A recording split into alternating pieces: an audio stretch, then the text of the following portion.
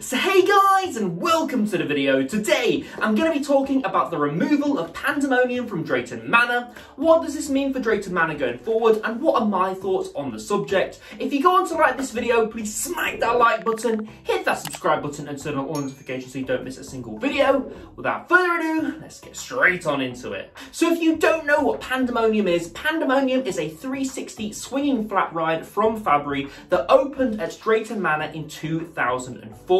It's currently located next to Apocalypse and the Buffalo roller coaster. Um, and as I'm going to be talking about in this video, it's just been announced that it will be closing at the end of the 2021 season, at the end of Drayton Manor's fireworks spectacular event. So the park has confirmed that you can still get on um, Pandemonium if you want to, if you go to the park at the moment. Um, but once the season ends, the 21 season ends, um, yeah, it's gone basically, and it's never coming back. Um, they've not announced what's in its place, but on Twitter they did say that they are working to improve the park um, and add some exciting additions, but again, they gave no detail um, to what will be going in the former spot um, that um, Pandemonium takes up at the moment. Um, again, this all comes after the Looping Group bought Drayton Manor, and Drayton Manor subsequently announced that they would be going down the family thrill route, so the park will be a lot more family orientated, a lot like what Lightwater Valley um, has done over in Yorkshire.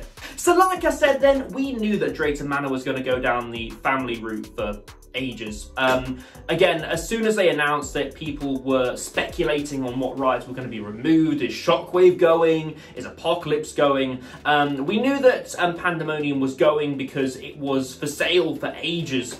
Um, like Apocalypse, actually, that's still for sale, so we'll have to see where that goes.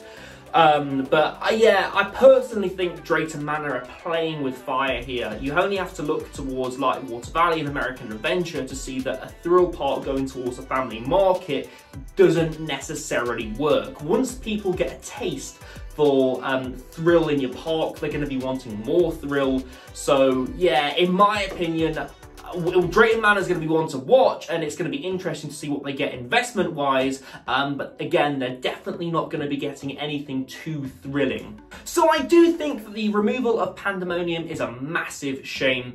Any ride removal is a massive shame, but um, for a flat ride that was loved by many, um, again, it's it's, it's, it's, a massive shame, really. Um, like I say, um, people have a connection to this ride, and you only have to look in the comment section of the ride removal post on Drayton Manor's social media um, to get an idea for how many people actually loved this flat ride. Um, I personally didn't have any connection to it. Um, I went on it once, and the time that I did go on it, I didn't have a particularly good ride. It didn't ride very well for me. The restraints were uncomfortable, and they locked too tightly. Um, it is made by Fabbri, a manufacturer known for releasing um, cheaper flat rides. Um, but like I say, any removal is sad, and again, this goes for Pandemonium.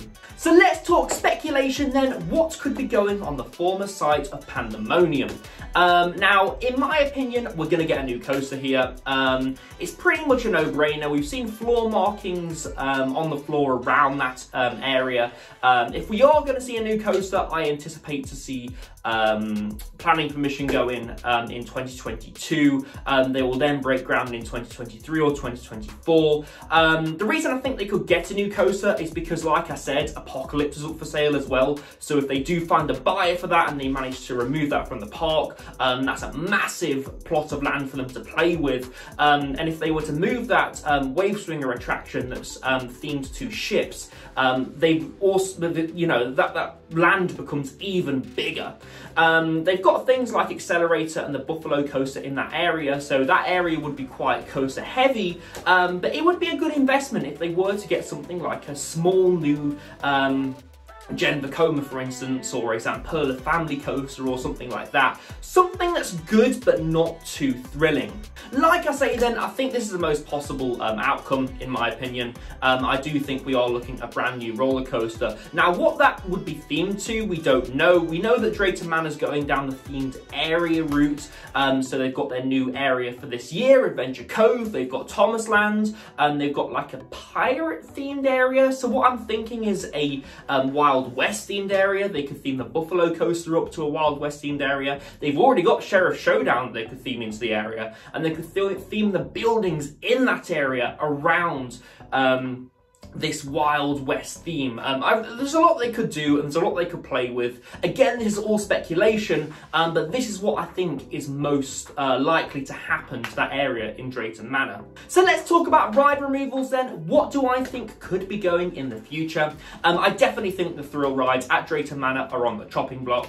Um, we already know that Apocalypse is up for sale and that will be going at Drayton Manor um, in, at some point in the future. Um, as like looking at the other thrill rides that they've got, Shockwave, Maelstrom, don't know. Um, they could go, they could not. I don't think they're going to get rid of Shockwave.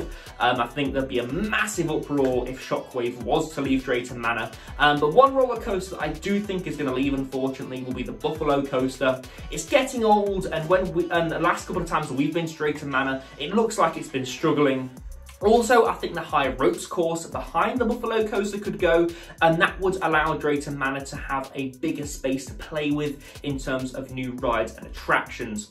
Um, but again, it's all speculation at this stage. We don't know anything, um, but those are just my thoughts. So guys, that's been my video on the removal of Pandemonium. If you have found this video useful or you've liked it, please smack that like button, hit that subscribe button and turn on all notifications so you don't miss a single video. You're going to be wanting to be subscribed because we are going to Phantasialand soon and I've got the end of season Alton Towers video coming up as well. So again, that's two reasons to subscribe, so definitely click that subscribe button, please do it. I'm nearly at 400 subscribers and I really want to get there by the end of the year. Um, again, guys, I've been Ryan from Eye Coaster, and I shall see you in the next video. Goodbye.